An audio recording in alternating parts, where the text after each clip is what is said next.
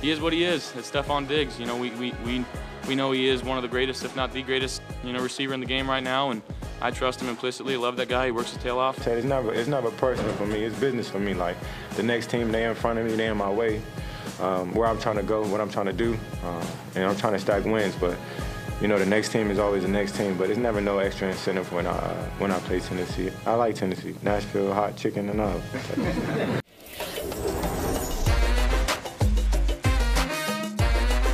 Fantasy Football Happy Hour with Matthew Berry, served by Applebee's. It's not just the hot chicken in Tennessee that is hot. It is Stefon Diggs and the entire Buffalo Bills offense. Listen, it is noon on Peacock, but it's 5 o'clock somewhere. My name is Matthew Berry. He's Connor Rogers. Welcome to the Fantasy Football Happy Hour right here on Peacock and wherever you get your podcasts. Man, how about those? How about them Bills? Monday Night Football doubleheader. Yep. A lot of points if you like the Bills. Good amount of points if you like the Eagles. Where else to start but Buffalo? Yeah. I don't like the doubleheader. I'll just say this right now. Simultaneously, I, I, don't. I don't like that. I don't like that. Yeah, I'm a fan. No. It, Like, it's no. usually Monday you just buckle down and you focus on one game. I'm okay with a doubleheader. Give me back-to-back Stack games. Not, don't don't make Yep. me overlap. Don't make me. Don't make. I'm already distracted enough. The good news is, unless you were focused on just one player and they probably weren't playing in the fourth quarter, this game was out of reach pretty early. It really was. Yeah, the Bills winning 41-7 against the former number one seed in the AFC, the Tennessee Titans, and we'll get to some of their problems in a bit. But let's start with Buffalo. Sure. Josh Allen. Uh, He's very as- good. He's pretty good. There you pretty go. good. There's a Hashtag reason he was the number one quarterback drafted in fantasy by a wide margin this year. He has lived up to the hype. But I think just as much as he's good, this connection to Stefon Diggs, friend of the show, is absolutely insane right Yeah, now. the chief ball officer. Yes. Uh, Stefon Diggs, friend of the show there. I, look, what else is there to say about Josh Allen? His 140 points with Stefon Diggs through the first two games, right? That's the most all time by a quarterback wide receiver duo. He's got the most points per game by any quarterback through uh, th- up to week three since 2019. So he is not only on pace for a, a historic season, but he is justifying being the number one overall pick in two quarterback leagues. He's justifying being the number one quarterback. I mean, just there's what analysis you want. Like if you have Josh Allen, Good you're for you. You're not trading him. If you have Stefon Diggs, who has the most fantasy points through the first two weeks by any wide receiver in the last 20 years, he is awesome. A 41% target share against the Tennessee Titans, back-to-back 100-yard games for Stefon Diggs. I, you, you see the footage right here. There we go. There's Josh Allen. I'm scrambling around. Where's 14? There's 14. Easy peasy. What are you going to do? He's just that is an actual. And now, oh, here goes Josh Allen back again. This probably isn't interesting to people that are listening on the podcast, but all I got to tell you is this is just amazing footage. If this is one of the reasons to watch this on Peacock because you can just watch Stefon Diggs just absolutely blow past uh, people in the NFL. Um, it's great. I, I do think there's no fantasy takeaway here, other than this if you have either one of these guys, you're thrilled. I do think that it was a somewhat of a unique situation. At home, Monday Night Football, 10 days to prepare, and no Gabriel Davis Yes. in this game. We talked about this on fantasy football pregame Sunday morning. I said with Michael Smith, I said, I'm hearing from my sources 99% chance Gabriel Davis does not play. He suffered that, uh, that injury late in the week. They, they wanted him to go. They took it smart. We'll see what happens with him over the course of the week. But so without him there, 41% target share. And I think what this game did is it really proved that for as great as the Bills are offensively, Connor, fantasy wise, it's really three guys. Yep. It's Josh Allen and Stefon Diggs and Gabriel Davis. We can talk about Singletary in a second, but like, if ever there was a game that Isaiah McKenzie should have done something, if ever there was a game that like Jake Kumerow, who ran the second most snaps and the second most routes for Buffalo wide, wide Yeah. receivers, should like somebody else should. They put up 41 at home against the Titans, and no other Bills pass catcher really did anything. I, Dawson Knox is a touchdown dependent tight end. You want to roll him out there because you, you waited on a tight end. I don't have an issue with that. But I just it just feels like if we're looking for fantasy value beyond those three big guys, consistent fantasy value beyond Allen, Diggs, and Gabe Davis, doesn't seem like it's there. There was a stretch in the middle of this game where they just threw the ball over and over and over again. They didn't even think about running because why should they? They are Right. that overpowering. Josh Allen to Stefon Diggs, and when Gabe Davis is back, you know he's going to get his. So when you look at this backfield right now, You, I'm sure people that drafted Motor Singletary are still holding out hope that he can be productive, Sure. maybe as a flex. But how do you even handle this backfield? Are you getting to the point where you almost ignore it because Zack Moss isn't going to be overly effective? James Cook, they're trying to get him involved. Is there anything there? I still ha- hold out hope for Devin Singletary, uh, but you know, and I think like he could have gotten. I think if he'd gotten a touchdown, he was on his way to a touchdown, and then there was a penalty, so it gets called back. Like that would have been a touchdown. You know, the, the touchdown to Gilliam. Does that if that goes to him? Right, the, It's a fluke. It's a fluke. you know, maybe the narrative's a little bit different, but again. A home game in which the Bills were up 41, the, the Bills won 41 7. This game was never in doubt. They're up big, and Devin Singletary gets six carries six for 19. I- I'm just, I mean, they were passing at will. He doesn't really have a lot of passing game usage. He got four targets in this one. I mean, they got out so big early that Singletary got pulled, and you saw some James Cook, and they got Moss involved. But Singletary to me is more of a flex than a count on a top 20 running back. And in your flex, generally speaking, you're probably going to want, unless it's a deeper league, you're probably going to want a wide receiver. So I, I'm not dropping Devin Singletary, but again, if he can't get it done in a home game where they're winning 41-7, when is Devin Single? When are you going to feel good about starting Devin Singletary? And this is the point I'm going to make, and I'm going to make it a couple times this show. It's not about production. It's about knowing when to get that production. Because there'll be games over the course of this year where Isaiah McKenzie or Devin Singletary or James Cooks or Dawson Knox, where any of these other uh, complementary Bills players have good fantasy games. They absolutely will. That offense is too good. He's too good. Josh Allen's too good. He's going to get everyone involved. So there'll be good games. It's just knowing when to start Isaiah McKenzie, knowing when to start, a, you know, when it's going to be a Devin Singletary game. I just don't think there's going to be that. I, I think it's going to be hard to figure out when that is. And I don't know that the upside is worth the inconsistency you're going to get from these guys because that offense is so funneled through those three guys. So for me, I'm holding on to Singletary and I guess Knox and McKenzie, but like Picking your spots. picking your spots, and I think it's more depth. And I think that's what I learned last night for the Bills is like fantasy wise, it's those three guys. On the flip side, the Titans, who in the past have had premium talent that you can rely on, Derrick Henry, of course, some of it's no longer there. Man, a little scary right now in Tennessee. Derrick Henry, 13 rushes, 25 yards, one touchdown. He has been held to single digit fantasy points in each of his first two games.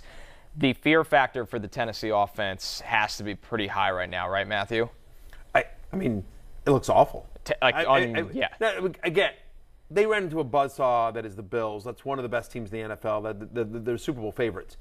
But they also lost to the Giants. Yeah, they look And bad they- Listen, one. the Giants are 2 0. Maybe the Giants have a better defense than we're giving them credit for. But Derrick Henry's looked slow.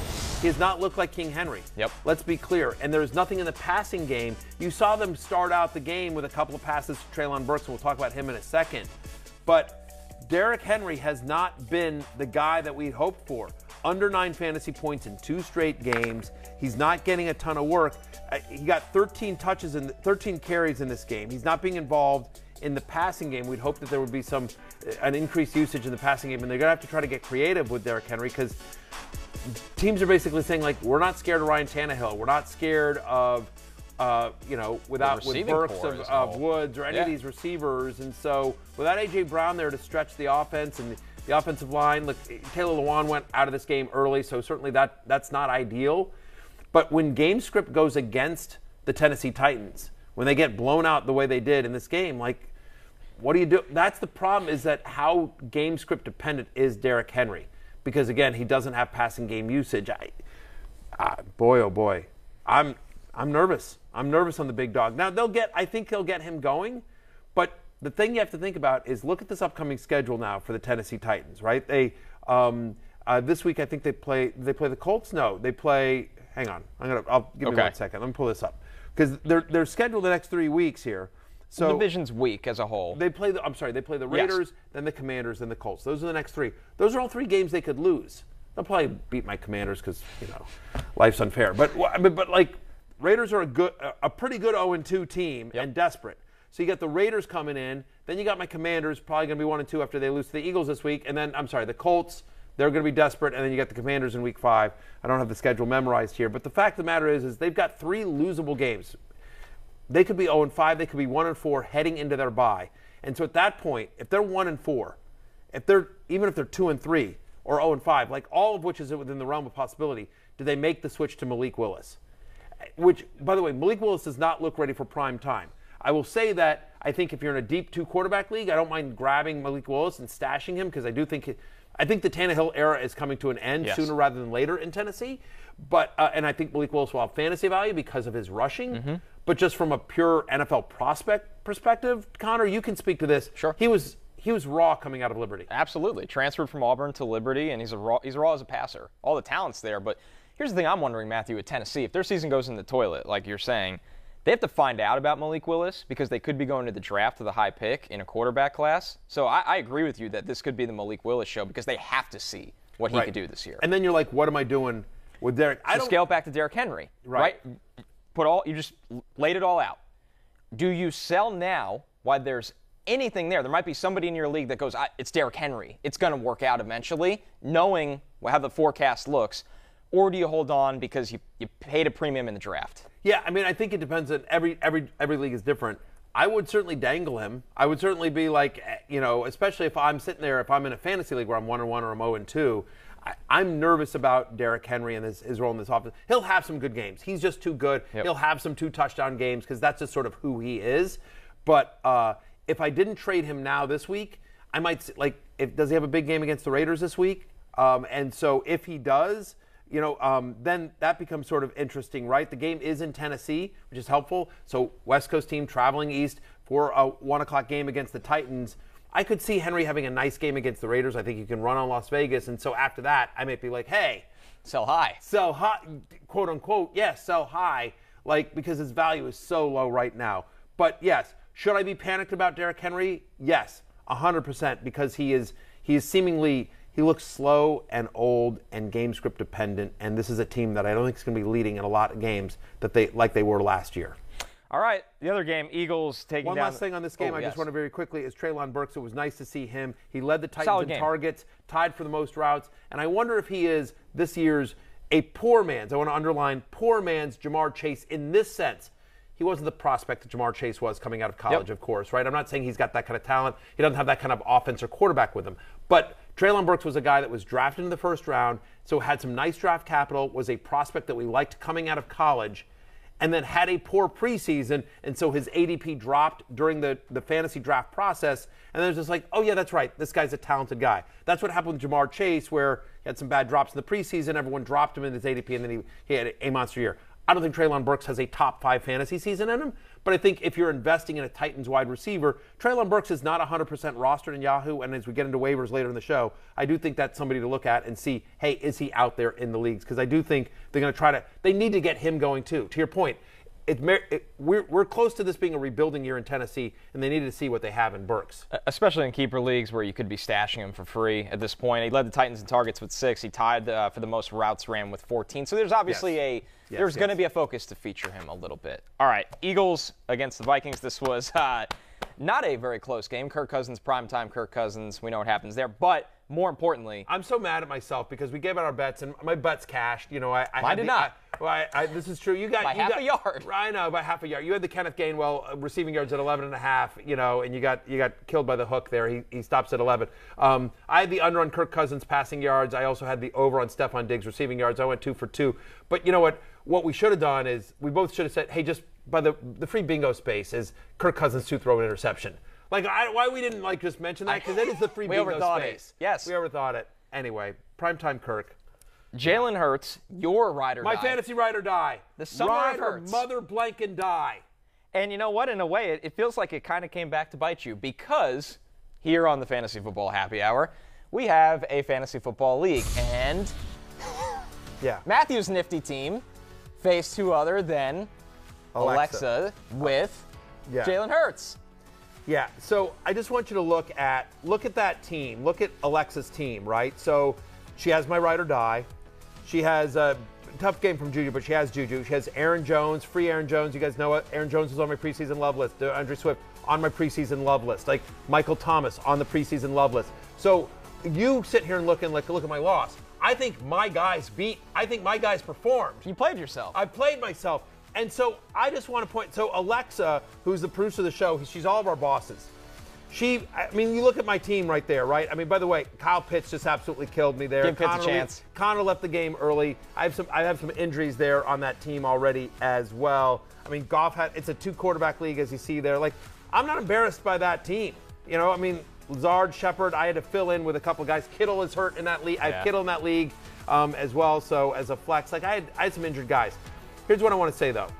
Here's what you, you, before you were a talent at Bleacher Report, Connor, you were a producer, right? Yes. And what's the number one job of a producer? Make the talent look good. Always. Right? Support your talent. Support your on-air hosts. And so Alexa had the pick before me. Everyone's like, "How'd you not get your ride or die?" I remember never this. got it to because Alexa literally picked in the first round before I ever got a chance to pick. She drafted Jalen Hurts. So the question is, is like, so Alexa chose to put that out on the show. She's like, oh yeah, put that in there that I beat Berry in the show. It's fine. You won. Congrats, Alexa. Asked and answered. We'll see. It's a long season. I'm not worried about my 0 2 team. What I will say, because it's a 14 team league, I like my team. Um, and I like my bench there. But what I'd say is that what I think what Alexa has done is she's not supported her talent. She's not put her, produ- her, her talent in a position to succeed. It's an She's inside not job. I'm just I'm just saying, fine, you did a good job as a fantasy manager, but as a producer, awful, terrible. And I don't know why she would want to put that out there for America to see, but whatever. Apparently, she's got job security or something like that. It's just an aw. This is, to me, everyone sits there and like goes, "Oh, Berry's 0 2." To me, I say that that's Alexa saying like, "Hey, I'm not doing a good job producing." That's that's how I look at that. That's just me. It's just me. When she made the pick, his reaction in the chat in all caps was, "Are you kidding me?" In all caps. Right. And I think I used a, a word nice. that started the, the letter F as well. Yeah, Before yeah, that, I mean, used an I know. We're- we're keeping it PG Uh, like here what- on Happy I- Hour. anyway, but my fantasy ride or die showed up because it, it is what it is. I, thank you. You're welcome, America. You are welcome. Everyone that has Jalen Hurts, you are welcome. They laughed at me. They laughed at me when I went on national TV and I said, did. "This is the guy." Quarterback one in fantasy is within the range of outcomes, and Josh Allen's making that tough. But Jalen Hurts is giving him a run for his money. They thought that was crazy. They thought it was insane that I had him as QB four overall, that I had him ahead of Brady, that I had him ahead of Lamar Jackson. Through two games, I mean- Jalen Hurts is looking pretty damn good.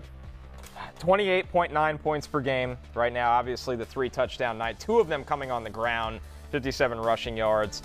Uh, he still would have finished as QB3 in week two if he didn't play in the second half. He had 31 fantasy points in the first half. Targeted three different receivers at least six times. I mean, I mean, Matthew, what more do you want to see from Jalen Hurts right now? I, I, I, just to stay healthy. Yes. Just to stay healthy. And like as a favor, could you please take it easy on my Commanders next week because I think they're going to just absolutely destroy Washington. By the way, he's now moved up to the third best odds to win MVP at plus 1,000. That's thanks to our friends at BetMGM, new sports betting partner here in the Happy Hour. That's right. BetMGM, Welcome to the show. show, BetMGM. We appreciate you guys as well. He was 50 to 1 to win this award in the preseason. He's now at plus 1,000. Anyway, fantasy ride or die. I'm wearing, you know me, I'm a Commanders fan. So for me to wear a jersey, means something. I'm just saying, much love to Jalen Hurts. Congratulations. This is not a fluke. The schedule is terri- uh, ridiculously easy for Jalen Hurts. It's a great offensive line, and the weapons there. AJ Brown is ridiculous, of course. But DeVonta Smith, you know, I mean, like, here's the other thing: is he targeted three different receivers at least six times? I mean, he's spreading the ball around. He made throws into coverage, like, you know, just a, a just a, a you know, put your flag in the ground kind of statement performance from Jalen Hurts last night. My fantasy ride or die. You're welcome. I just want to say to everyone, you are welcome, except Alexa. At which point I say, you know, you know, to Alexa. They laughed at this man on television. Uh, let's talk about his weapons, though. DeVonta Smith bouncing back from the goose egg game, Yeah. seven catches, 80 yards. Uh, most receptions by an Eagles pass catcher in week two after zero in week one. Most important thing here for me, Berry, is he played 72 of the 73 offensive snaps. He's going to be on the field. Yeah. And if you're on the field in this offense in one of those top three roles, you're probably going to find success pretty consistently. Yeah, I mean, I just listen. We know about the first round talent. It's still going to be a run first offense, and we still know that passing offense goes through AJ Brown. But if you're sifting around the wide receiver four with upside type guys, I think he has more than most given his skill set and that offense. All right, Dallas Goedert, uh, another pretty good game here. Five, I mean, it's pretty steady Eddie for all these guys. Five catches, 82 yards, 30 plus routes ran in each of his first two games. Has seen at least four targets in the first two games. Here's He had he six against he's Minnesota. A, he's, a, he's a lower end tight end one who's Yep. solid production in weeks in which he scores. You know, you, you love it. I think I think people are going to look at this game. To me, the most interesting guy after my guy Jalen, Miles Sanders. Mm. Miles Sanders, I think, is a sell high because people are going to sit here and look like this, right? Like he had 20 touches, 17 rushes, three he caught three balls, 86 total yards. You're like, hey, 20 touches. Yeah. You know what I mean? Like Miles Sanders, he's the guy. We were talking, oh, maybe this is a committee with Gainwell and Boston Scott. And like, oh no, no, he's the guy. 20 Run touches. heavy offense. And I'm just like, again, this is sort of what I was talking about with the Bills.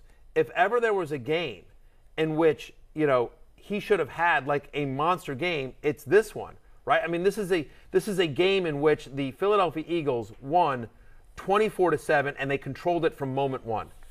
They were in control of this game from the start. He got 20 touches in a home game against a team they were dominating. And he winds up with what? A, you know, 11.6 fantasy points in PPR. Uh, so I mean, like basically, like I mean, you think here's Darrell Henderson was running back 20 this week with 10.7. Raheem Mostert running back 20 with 10.9. I mean, like that, like borderline top 20 in as un, in in as ideal a situation as you could have asked, and it was just like, eh. You know what I mean? Like, okay, like, and maybe if he gets into the end zone, it's a different story. He gets 17, but I just he's got he's got touchdown competition in Boston Scott, Kenneth Gainwell, and obviously Jalen. That's the big one. That's the big one. He is he has struggled with health throughout his NFL career. So now you've got a guy that has ha, that he is he's always a risk to get injured. He has he is competing with three other ball carriers for touchdowns. Like to me, like when your best case scenario is this, like that, could- you got 20 touches in a game, you were winning at home by three touchdowns, and the best you could do is 11.6 fantasy points. Like I, he's fine. But to me, this is the highest value Miles Sanders ever going to be in like you know a standalone game. They dominated. He got 20 touches. You know the touchdowns are coming. Like that's how I'd sell him if I had him in a league. But I, he like I, there's a more of a there's much more of a of a bottom than I think a ceiling for Miles Sanders. So given the usage, uh, I would actually I would actually try to move off of him because I don't think I- I'm just I'm nervous. I'm nervous about the I'm ner- nervous about the health and the touchdowns. Yeah, no, it completely makes sense. He's been injured, you know, every year he's been in the NFL. He misses time. He goes on the injury report. You don't know if he's going to play. And right now, everybody's looking at him and going, "Oh, this is a rock solid RB two that you could set and forget every time in the lineup." So maybe there is sell potential there. Let's talk about the Vikings, who, you know, some fantasy players might be hitting the panic button on. I don't think that's necessarily how we feel here. But primetime Kirk Cousins strikes yet again. Yeah, he was he was bad. I you know I mean, here's the thing. I this is just I would love to overreact to this game, but I'm not going to. Sure. I believed in Kirk Cousins in the preseason. I believed in the Vikings offense in the preseason. I'm still there. Like, again, I didn't like Kirk Cousins in this game. Again, prime time. Felt like this was the Eagles have a really good They're a defense. really For good all team. the talk about Jalen Hurts, and I've been a big, you know, I've been as big a Jalen Hurts fan and promoter over the last couple of years as anyone. Um, but as much as I've talked about that offensive line, the schedule, uh, AJ Brown acquisition, Jalen Hurts at quarterback, the fact of the matter is, is very quietly, Howie Roseman has put together an unbelievable defense in Philadelphia. Credit where credit is due. The Eagles are a legit, legit Super Bowl contender. They are. They're in that conversation now. I believe they are. And that defense is amazing. They're, they they finally have some linebackers. Slay played out of his mind last night. Cousins in prime time. It is a thing, right? I think he's got what, what's his, he's like two and 17, two and 27. I think he's 10 and 18. I mean, it's, he's Yeah. it's whatever the number is. It's brutal. I don't know it off the Yep. top of my head. Um, but Two Monday Night Football spe- uh, specifically two and 10. two and ten, is right? Monday I think in Football. primetime games, I think it's it's even worse. Yeah. Um, 10 and 18. 10 and 18 in prime time. Here's the positives. Only one other primetime game.